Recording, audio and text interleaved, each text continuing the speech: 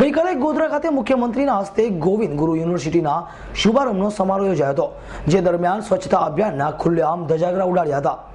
ગઈકાલે ગોધરાના સરકારી polytechnic college મેદાન ખાતે મધ્ય ગુજરાતને આવરી લીધી ગોવિંદ ગુરુ યુનિવર્સિટીનો શુભારંભ મુખ્યમંત્રી આનંદીબેન પટેલના હસ્તે કરવામાં આવ્યો હતો, જે કાર્યક્રમ દરમિયાન હજારોની સંખ્યામાં લોકો ઉપસ્થિત રહ્યા હતા.